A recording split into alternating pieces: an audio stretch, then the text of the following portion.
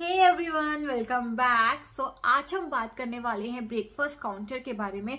जैसा कि हम और आप दोनों ही जानते हैं कि ब्रेकफास्ट काउंटर आजकल कितना ट्रेंड में है। हर कोई चाहता है कि यार किचन में कहीं ना कहीं ऐसी स्पेस निकल जाए कि ब्रेकफास्ट काउंटर हम बना पाए। सो so, सबसे पहले बात करते हैं कि यार हमें ब्रेकफास्ट काउंटर बनाने से क्या फ़ायदे हो रहे हैं।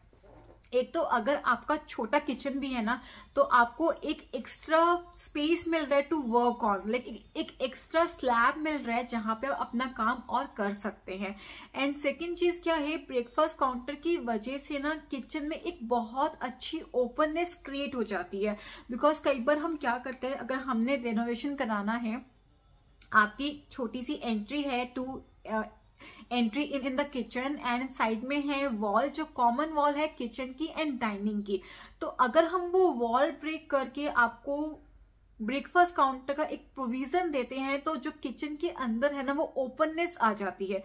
जिसकी वजह से इल्यूजन भी क्रिएट होता है कि आपका किचन काफ़ी बड़ा है।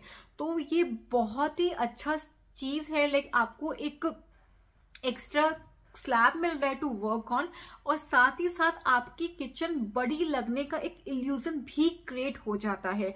तो ब्रेकफास्ट काउंटर बहुत ही अच्छा तरीका है। अब बहुत सारे टाइप के ब्रेकफास्ट काउंटर होते हैं। एंड अभी पता है हम सब जानते हैं कि यार हम ब्रेकफास्ट काउंटर नेट से सर्च करके बनवा सकते हैं बट फंसते कहाँ पे है?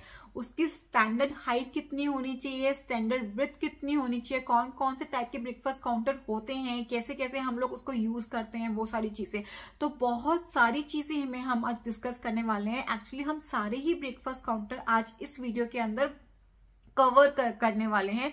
तो वीडियो होने वाली है बहुत ही इंफॉर्मेटिव तो वीडियो को एंड तक ज़रूर देखना। I am architect Bhavi and you are watching architect world so guys let's start with the video okay okay, सबसे पहला ब्रेकफास्ट काउंटर आता है विदाउट स्टोरेज कई बार आपने देखा होगा कि क्या होता है मेरे पास ना एंट्री है वहाँ एक पिलर है देन एंट्री है और फिर एक और वॉल है।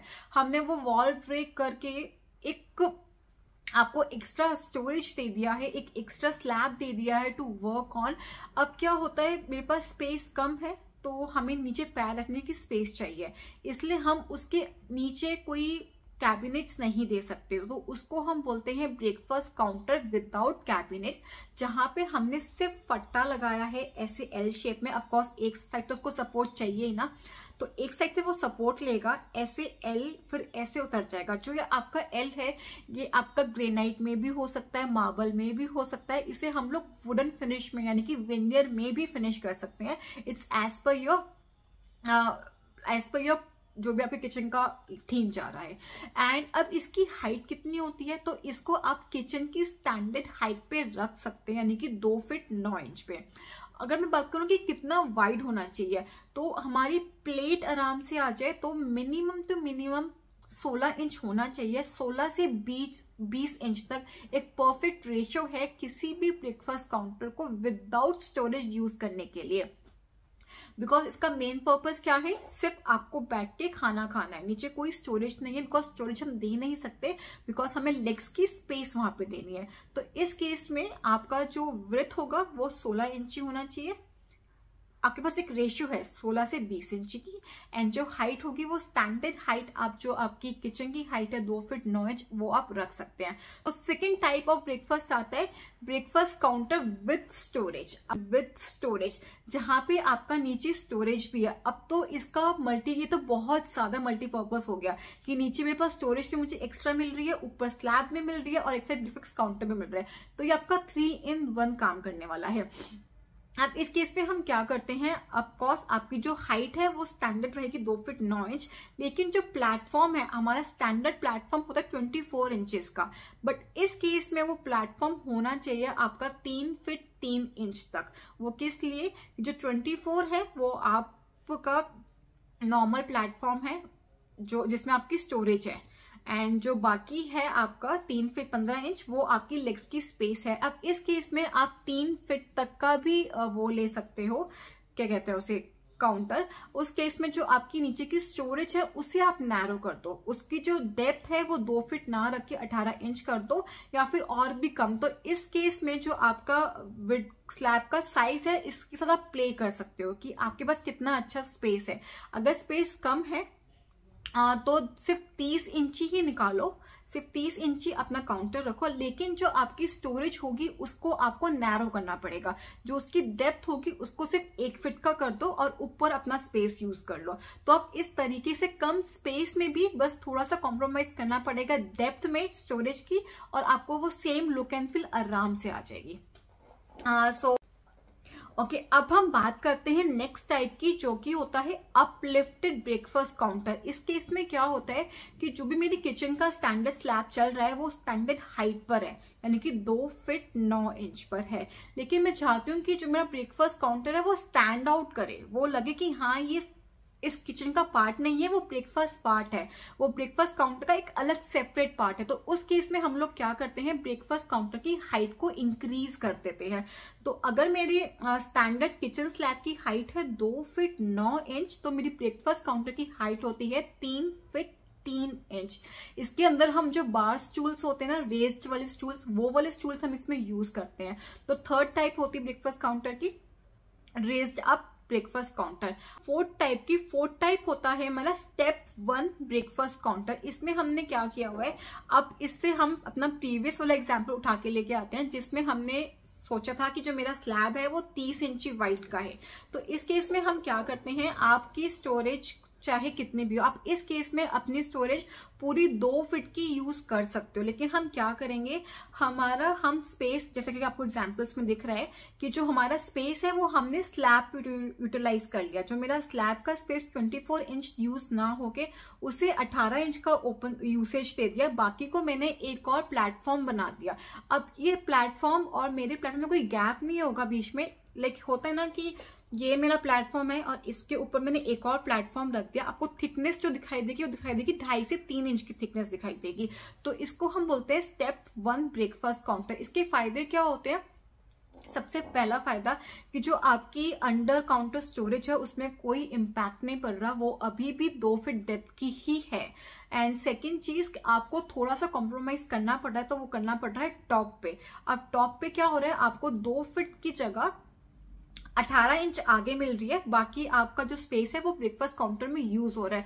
तो ये भी काफ़ी अच्छा तरीका है, जब आपके पास, पता है कि ये ऑप्शन उन लोगों के लिए बिल्कुल बेस्ट है जब आपकी किचन छोटी हो, आपको स्टोरेज भी चाहिए, लेकिन वो ओपननेस किचन के अंदर भी चाहिए।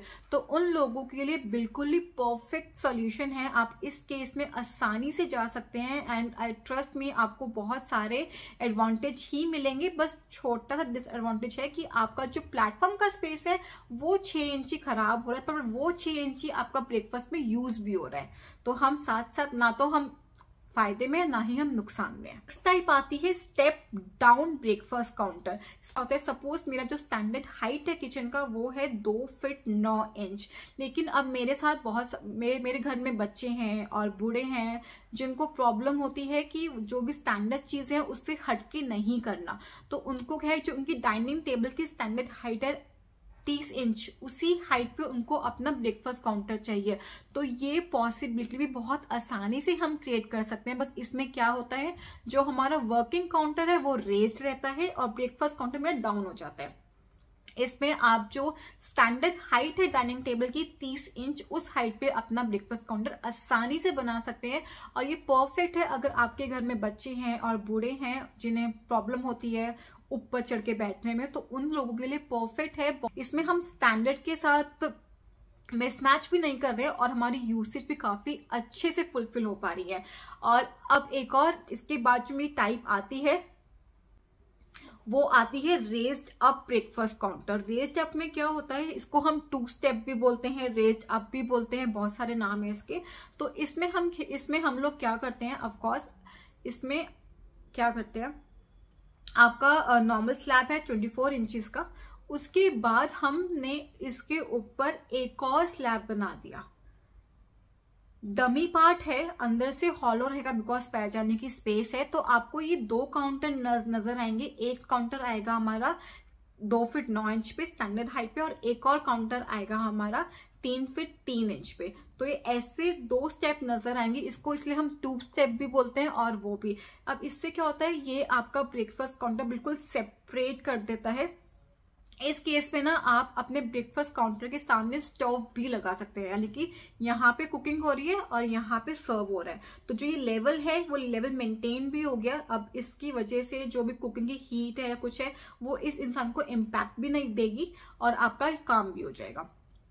तो ये था हमारा नेक्स्ट अब इसमें, अब आपका ना सब में क्वेश्चन रहा होगा कि यार हमारे लिए स्टैंडर्ड दो लोगों के लिए कितना बड़ा ब्रेकफास्ट काउंटर होना चाहिए। तो अगर आपको दो लोगों की परफेक्ट सिटिंग चाहिए तो जो आपका काउंटर है वो एटलीस्ट चार फीट का बड़ा होना चाहिए। चार फीट वाइड ऐसे होना चाहिए और ऐसे में हमको ने बताया ही था 16 इंच से 20 इंची बहुत होता है। बाकी जो मैंने different different types of breakfast counter आपसे डिस्कस करें, उसमें मैंने मेंशन किया है किसमें कितना कितना होना चाहिए। ठीक है। अगर मैं बात करती हूँ, इस जो टू स्टेप मेरा है तो इसमें 24 फोर इंच मेरा स्लैब रहेगा और जो ये है, इसको हम ले सकते हैं 15 इंची का। अब कई बार हम लोग क्या करते हैं, अगर लाइक इन सम केसेस जहाँ पे मेरा ये स्पेस ना बहुत कम है पंद्रह इंची की या नहीं तो इसमें हम क्या करते हैं, हम तीन इंची अंदर ले जाते हैं। तो वो चीज़ भी आप कर सकते हो, लेकिन इस केस में स्टोव नहीं आएगा आपका। अगर स्टोव आ रहा है तो स्टोव को 24 फोर इंचज क्लियर चाहिए, और अगर आप वो नॉर्मल वर्किंग स्लैब ही यूज़ करें तो उस केस में आप 24 में तीन इंच अंदर भी जा सकते हो। I think I am clear here okay if नहीं, कुछ भी अगर डाउट है तो please comment below I try my level best कि मैं within twenty four hours आपको रिप्लाई कर पाऊँ, वरना ऐसा नहीं होता कि मैं रिवर्ट ना करूँ। And I and I also share my WhatsApp number with you तो अगर कुछ भी क्वेरी है कुछ भी पूछना है लाइक कुछ छोटी मोटी इन्फॉर्मेशन भी चाहिए तो आई एम रेडिली अवेलेबल आप कभी भी व्हाट्सएप व्हाट्सएप करके मुझसे वो चीज़ें पूछ सकते हैं। सो uh, so, अभी जो जितने भी हमने ऑप्शन आपसे डिस्कस करें जो सारे ऑप्शन सारे मेरे फॉलो हो सकते हैं एल टाइप किचन में या फिर पैलर किचन में। अगर एक और किचन की टाइप आती है आइलैंड किचन तो आइलैंड किचन में हमें किस टाइप का ब्रेकफास्ट काउंटर रखना चाहिए? अब मेरे जैसा कोई लोग हो जिसको काफ़ी लैविश किचन मिली हो आइलैंड तो वो चाहता होगा कि यार मेरा डाइनिंग भी ना आइलैंड हो ताकि मज़ा आ जाए किचन की जो लुक है ना वो बहुत ज़्यादा इन्हांस हो जाए। तो ये गाइस आज आप आइलैंड किचन में भी ब्रेकफास्ट काउंटर बना सकते हैं। वो दो टाइप के होते हैं। ओके okay, उन लोगों के लिए जिनको नहीं पता हो कि आइलैंड किचन होती क्या है। आइलैंड किचन वो होती है जहाँ हमारे पास इस साइड भी स्लैब है, इस साइड भी स्लैब है, लेकिन बस बीच में भी स्लैब है टू वर्क ऑन अब जो ये स्लैब है, इस पे आपका स्टोव भी हो सकता है वर्किंग काउंटर भी हो सकता है, कुछ भी हो सकता है। वो डिपेंड करता है कि आपका स्टोव सिंक फ्रिज कहाँ आया हुआ है तो हम इतना डिटेल में नहीं घुसने वाले। अब क्या होता है, जो मेरा ये सेंटर वाला पार्टीशन सेंटर वाला स्लैब है ये दो टाइप से इसमें हम ब्रेकफास्ट काउंटर बना सकते हैं। एक बना सकते हैं हॉरिजॉन्टली और एक बना सकते हैं वर्टिकली अगर आपकी किचन में स्पेस हॉरिजॉन्टल ज़्यादा है एंड हमेशा याद रखना आइलैंड किचन हो या कोई भी किचन हो, अपने पैसेज को एटलीस्ट तीन फिट क्लियर रखना ही रखना है।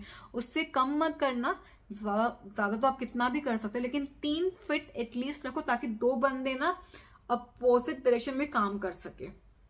ओके okay, तो यस अगर मैं बात करूँ हॉरिजॉन्टल आपके पास हॉरिजॉन्टल स्पेस ज़्यादा है सपोज़ मेरा स्लैब है दो फिट का फिर तीन फिट का पैसेज है फिर 24 इंच का मेरा स्टोव वाला एरिया है और उसके बाद मेरे पास काफ़ी अच्छा स्पेस है कि मैं इस साइड पे अपना ब्रेकफास्ट काउंटर बना सकती हूँ। तो उसका बेस्ट ऑप्शन ये है कि आप ये आसानी से बना सकते हो। आपको सिर्फ़ एक प्लेटफॉर्म मैंने रेस्ड अप किया है और आपकी किचन में ना लाइक बिना कुछ खर्चा किए, बस छोटा सा डिज़ाइन एलिमेंट डाला है। लाइक डिज़ाइन एलिमेंट भी नहीं है, एक वर्किंग एलिमेंट डाला है और आपकी किचन लगेगी कि कितनी अच्छी तरह की से आपने यूटिलाइज किया हुआ है।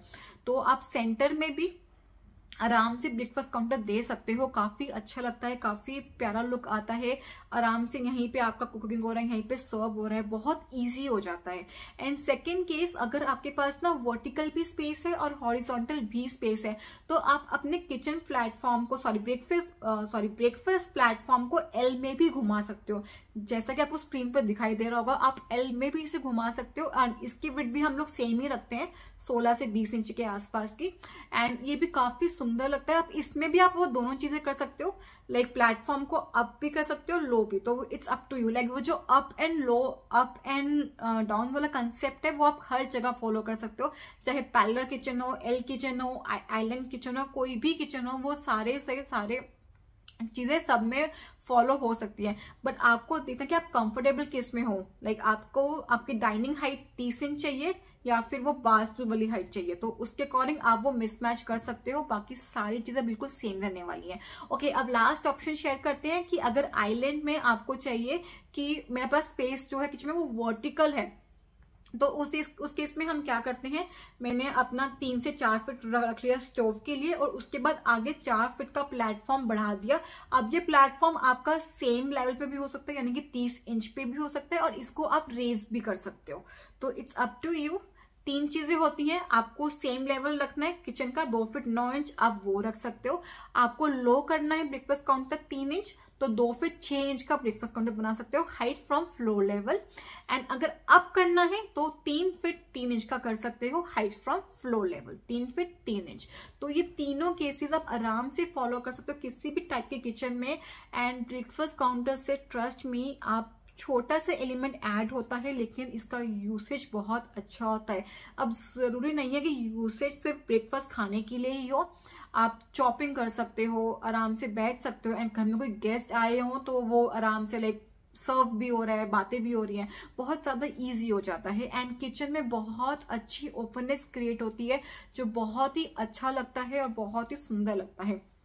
ओके? okay, अब एक छोटी सी प्रो टिप देते हैं एंड में कि सपोज़ मेरी एल टाइप की किचन है तो एल टाइप की किचन कितनी बड़ी होनी चाहिए कि मेरे पास ब्रेकफास्ट काउंटर आ जाए?